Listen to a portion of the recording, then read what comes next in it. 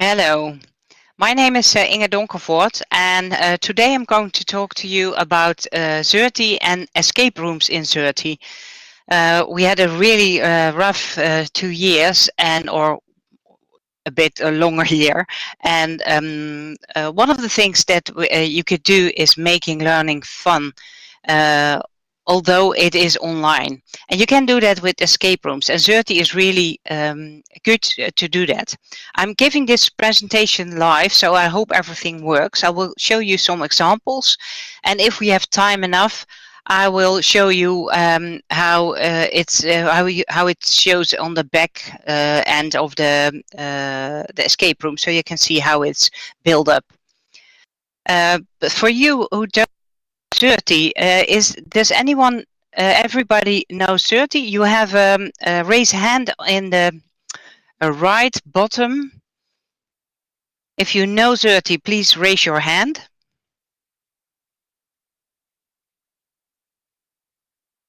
So that's only Tom. Then I'm going to explain a bit more about, uh, oh, and Lucy.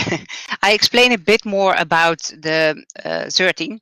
Uh, Xerte is an authoring uh, tool that you can use to create uh, media-rich, online, accessible uh, learning modules. Um, you can create a sort of mini website, but you can also create a module where you can click through uh, and see all kind of uh, information, video, audio, um, text, um, interactions, um, there are a lot of interactions possible, um, questions, multiple choice, interactive video, uh, the Media 360 page I showed you yesterday.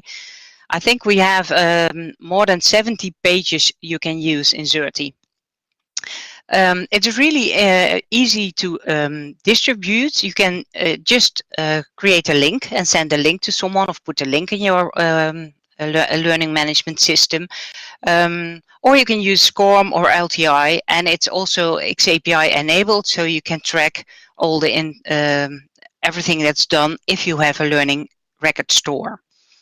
Um, then another very big advantage of Xerte is that you uh, easily can share modules and reuse them. In the Netherlands, we have a project at the moment um, for uh, a, big group of schools, vocational schools, that are sharing and reusing each other's learning modules. And what they do is they download the module, upload it in their Xerte installation, and um, uh, make some changes um, so that it fits for their uh, school and their students. So let's me show you some examples. This is uh, Dr. No Access. This is an escape room about accessibility. It's created by Helen Goodpain and Shannon uh, from the Regent's University in London and the South Thames College. Um, they had a, uh, an, ex, uh, an um, escape room, but it was made in Padlet and all kind of other uh, tools. So I asked her, is it okay for you to create one in Xerte with the same content? And this is what we created. Uh, when you click on this, I will share the link in um, in the chat uh, that you have this um, learning object itself. Then you can look at it later. Um, so if you click on this, it will open, but for, uh, to be quick, I have opened it in the browser already. So this is the escape room from uh, Helen. Um, when you start uh, it, then um, you get first the goals in this um, escape room. And um, I will talk a bit later about this. Uh, if you um, are creating an escape room, you have to think, is this for fun, just for fun? Or is this uh, surrounding a subject? Do they have to learn a new subject, or do they have to practice for uh, um, maths or physics or um, history?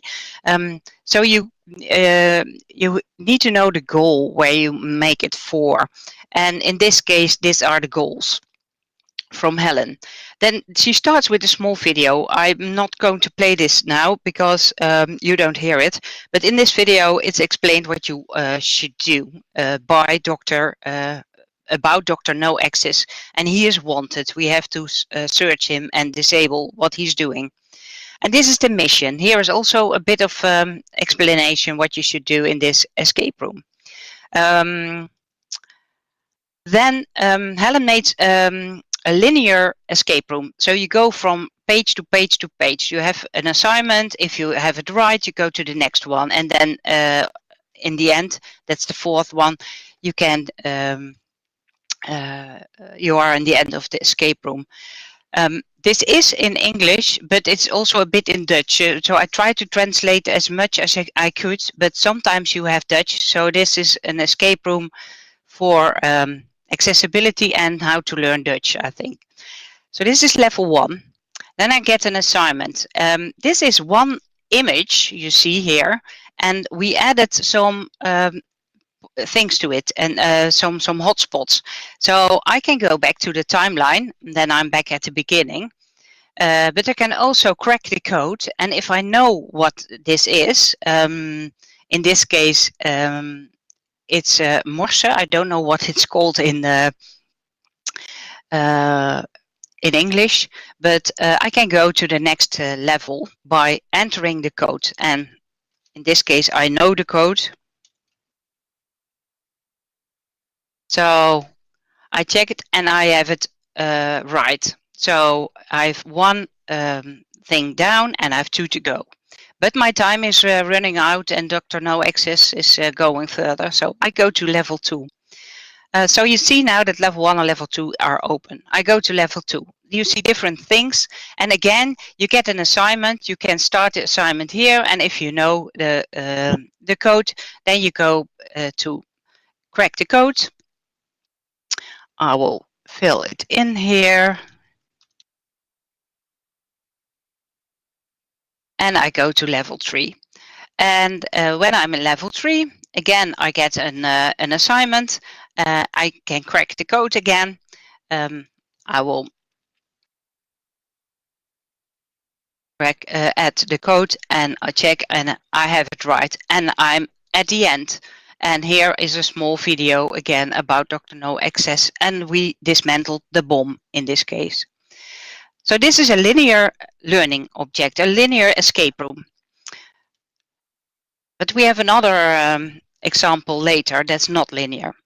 Just a few, uh, some information about when you're creating escape rooms. Um, escape room is not something you do in, in one hour. Uh, you have to plan it, you have to think through it, uh, you have to have all the images, videos, uh, all the assignments that you want, the codes that you want to add in. So you have to plan a bit before you create the escape room. Um, so what's the goal? Um, make a mind map of everything that you want to have in it. Um, maybe do some storyboarding if you lose, use a lot of visuals. And then um, you can think about the content the uh, what are the main chapters clues maybe also clues that doesn't do anything just um, to um, uh, distract uh, the the users.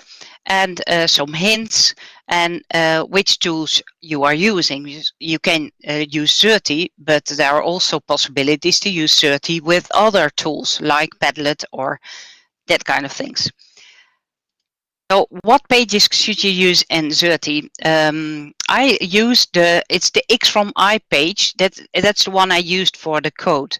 But there are different other, a lot of other pages you can use for the, and you will see that in an, another escape room as well. We use a lot the hotspot image connector. That's a bit, uh, you have a big image and on the image you have all kind of hotspots where you can go to different places or hear something or see a video or that kind of uh, information.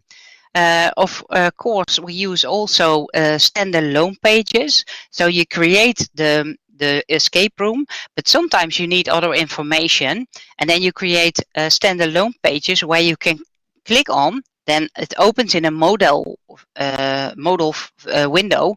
you can see and read and and get the information. And with the cross, you close it, and you're still on the same page in the Xerte escape room then yes, you can, what I told you, uh, you can do it just for fun uh, around a specific subject, uh, but also for scales training and onboarding. Yesterday I showed you the uh, image the Media 360 page and the interactive video. Um, if you do some on onboarding, you can use this really for a small uh, escape room um, to get the students and the teachers, new teachers, uh, acquainted with your organization and with your um, university or school. Um, and for um, the distribution, you can do it in this ways. So this is another example. This is made by Menno de Waal from het ROC uh, from Amsterdam. And he um, created this uh, escape room. And this was the first one he created. So I go to this one. Um, you can click on parts here in the escape room. So, um, oh no, my students locked me up in the classroom and I have to find a clue to get out of here. And uh, if you go uh, over a hotspot, you see um, the mouse with a hand and uh, a label. So I know there's here one on the computer. Oh, it still boots. Uh, I have to come back later. It doesn't work, so I can't uh, use that to go out. Here I get some audio message. Um, uh, you don't have dialed a number, so you can't get out of here this way. Um, and then I know here is a door uh, and I'm in the book room, uh, but I can't do anything here except go back. And then all of a sudden, after clicking a lot, I see a light switch here. And now it's dark. And if I go here into the book room, I see something's glowing here. It's very small for you, but when I click on this, I get some information. Oh, I, I need to find a telephone number, and the telephone number is uh, created with these words. And here I see a, there's a paper prop in the classroom. Please uh, look there. So I go back to the classroom, and it's still dark, so I need to put on the light. And here's the the paper with the uh, assignment on it. So I'm not going to do this assignment uh, because of the time. Um, and now I have to, I know that I have to click out the light again. And uh, I noticed that after doing this several times, I go here again, go here again. Um, yes, I, I know the number, for example. And um, I can click here to go to the phone. So I have to click on the light again and go to the phone. And now I can choose a phone number. Um, I will pick this one. Uh, and now I get a message that this is the wrong number. Try again. So I go back to the classroom. I have to put on the light again. And I will pick this one. This is the right answer. So I confirm. And now I get a message with an assignment in it and you don't hear it, but uh, uh, I know the assignment. So I um, go back to the classroom and I know now what to do. But before I do that, I have to go in here again.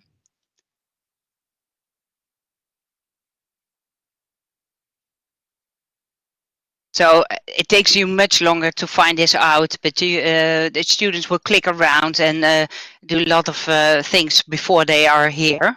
So I will put the light on again, go to the computer, and here I can uh, answer the question. Now, if I've answered the question, I get an open door and I can get out. So this is an, a different way of um, having an escape room. You have one um, place where you are and you can click on uh, several uh, things, but you, you manage it for, from that one uh, classroom. So I have another example. Um, I go back here, and you can do this later also. Um, this is made by uh, Malika Edem from the Windesheim College. It's a higher education uh, school, and she's a real escape room lover. And what she did uh, is create this um, this box, and uh, everything you see in this box are really small uh, items a small table and a small lamp and a small candle um, and she created that and she uh, asked me to help her to make an um, online version of this escape room so we tried to do that. Let me see. Uh, this is in Dutch, but if you use Google Chrome, you can translate it in English. It will not translate everything, but uh, a lot. So first you get some information about how this uh, escape room worked and also an audio file that's um, uh, telling something. Um, so this is the escape room she built. This is the box and she made pictures of it. When I go into this room and, or when I click here, I can't go in. Um, I have to find some answers first. And this is a non-linear escape room with a lot of rooms that you have to find your way around. And in this room, the living room, I have a lot of items I can click on. For example, the money and I get the message, oh, I saw money. Maybe I can use this later. In this case, you can't do anything but it, with it, but they are distractors. Um, what's also uh, really good on this um, escape room is that you don't have a question and one answer, but you have to do two several several um, of two different um, uh, questions or uh, assignments and connected them together to have the the total code. So that's and sometimes it's in this room and sometimes is it uh, in another room. Um, uh, for example, um, this um, paint uh, painting. Um, this is in this room, but I can find can find information to do it in another room. So in this case, I find an uh, arrow here that's very important. And I found find a number here. It's a bit dark for you, but uh, there's a number here. So when you do the escape room, and uh, when you you can uh, let uh, student groups work on it. So each group is doing um, the escape room, and uh, who's uh, there in the end at first they won. um, but during their way to, through the escape room, you have to think about what do they need, what they do they write have to write down uh, to do all the assignments. Um, for example, in this case, below this uh, carpet, there is a lock. And when I click on it, I get um, the question that I have to unlock it, lock it, but I don't have any code yet for to do that. Um, I can go back to the map and from the map I can back go back to into this room. So I have to go to another room to get the code to do this. Um, I can, um, uh, there is an assignment here uh, and that's connected to this assignment. There's two assignments and if I uh, do them and I have the right answer, I can uh, click on uh, this button here um, to enter the code. But if I don't know what to do, I've also uh, added variables. Uh, so um, I've added hints, and that's in the question mark. So I click on the question mark, and I get one hint. Um, so uh, maybe now I know what to do. So I go back to the map and go back, in, back into the living room. Um, I try some things, but it doesn't still work. Then I click on the question mark again, and I have a second um, hint. And um, this is all done by variables in Xerte. So this also works with variables. Uh, but it's a bit more complicated than um, just adding uh, uh, the linear things in the other escape rooms. This is a complex escape room. And what you also can use is um, next to uh, variables is JavaScript to do some things. So I'm going out of this uh, place. I know the code. And oh, hooray, I opened the kitchen. And now I go back to the kitchen. And when I click here below, I can go back to the uh, living room and I can, can go into the kitchen. kitchen. And if I um, discovered all the rooms and the codes, I get this. So I have five rooms. Uh, but you only see the room that you have opened. If you don't have uh, the, the basement uh, open, this is the basement, then you don't see it here on the map. Go back here. Let me see the time. Yes, okay. Um, so you have all kind of uh, exercises. This is um, a page that you uh, get some information. You don't know yet what, um, but you can click on the cross and you're back here. Um, so this is not, uh, so this is the non-linear escape room. And um, it's also very uh, complicated to create. So before we made this, we made a big uh, plan um, and uh, added everything in there and know what the questions are and what the uh, what images we use, what videos. So all kind of media is in here. So how does it look on the uh, creating side? This is the workspace from Xerte. So you see here all my um, learning objects I have. And in this case, I'm going to show you um, uh, this one. This is a small example. If I click here, I can play it. It's a, an example about Halloween. Uh, escape room first steps is a really simple uh, escape room. I get the image connector page, so the image uh, where you can click on different hotspots.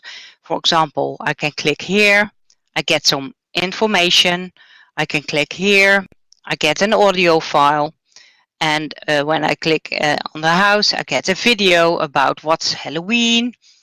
And when I click here, I can answer a question. And in this case, um, what date is Halloween? So it's the first uh, uh, 31 1 uh, October. um, and uh, it's on All Saints Day. So, okay.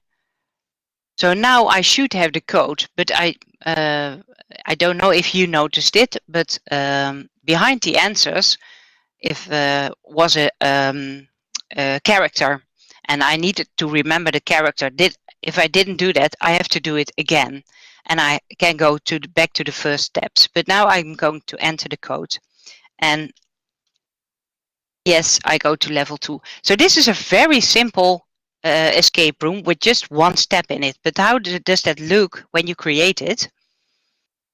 Um, this is the es es escape room. These are the pages. In this case, uh, this is just a title page. Um, and this one is the one with uh, the image connector uh, page. And here I have my media and I have uh, choose for the uh, the Halloween house um, or the house in moonlight. In this case, that is uh, the image I used um, to add the hotspots on. And here below are the hotspots.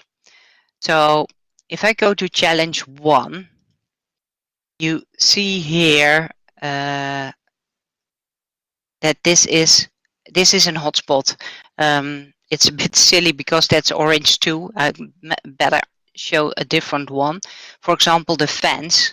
This is the hotspot. And if I click in the escape room on the fence, then this is going to happen. So I made my hotspot and uh, this is what's going to happen. I get some text and hey, fans, uh, blah, blah, blah. Uh, but I can also have uh, audio uh, I have uh, add audio or a video. And this case, this is then the X from I, or the the in this case the this is the quiz where we had the questions. And here we have the X from I page or the gap fill page. And uh, here I add the code. Um, so you only need those three or four pages to have one step of the escape room and you can make it as big as you want or as small as you want. Um, we have five minutes left. Uh, are there any questions?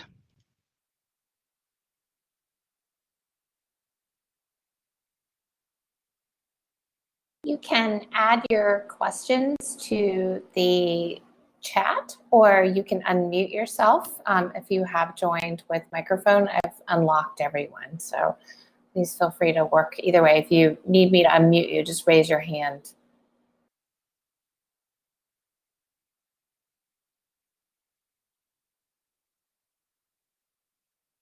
Looks like we have a question coming through in the chat. Maybe. Ingrid, this is amazing. Um, I was just thinking about a lot of different um, ideas for this. Seems like it would be great for language learning. Um, could be really great for um, asynchronous uh, courses. Um, I also felt like it could be a really interesting um, student project. Um, but let's see. So we've got a, a question from Dee Dee. Have you seen institutions use this in the gamification of a class? It's a great question. Uh, yeah. Do you mean in a class or? Yes, in yeah. a class. Yes. Yes, I um, uh, the examples that you have, uh, especially the one uh, about your locked up, um, are used for uh, students, um, but also for uh, teachers and uh, for example, for onboarding.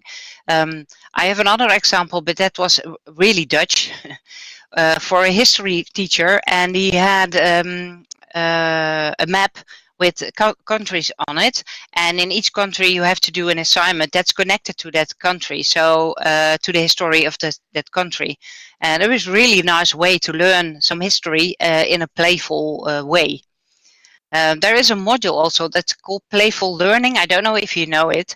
Um, it's not that um, common, um, but I really love that way of working to uh, uh, engage students by playing, and by playing they are learning. And and uh, Lucy, you are saying um, you were thinking about the different approaches and and uses you could have for this. Another one is, for example, math or science because Xerte has um, uh, using variables, you can add all different um, kind of um, uh, assignments in it, and each time you get a different one. So as a teacher, you don't have to change uh, every time the, the, the assignments because you get different ones. Oh, so you can have like a question pool in a way that uh, randomly chooses yeah, you have you have numbers, and it's it's uh, choose a number, for example, between one and ten, and um, minus uh, uh a number between hundred and two hundred, for example. So you don't uh, have to make the questions over and over again. It's it's creating themselves. That's great. This looks amazing. I don't see any more questions coming through the chat. I'll just wait for another second to see if we have other questions. You be making, you'll be sharing your slides? Yes, I will put uh, the link in uh, the chat now so you can have take a look. But please, it is some in Dutch. So um, it's language training and escape room uh, together. And if you have any question, uh, I will be here uh, the whole conference. And uh, but you can also send me an email.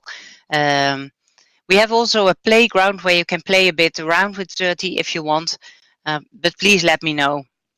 Oh, this is awesome. Julie oh. has also put, oh, wonderful, an example from Duke in the chat. I will capture all of the chat for us as well. That's wonderful. Great. Inge, thank you so much. I'm going to go ahead and stop the recording now. Um,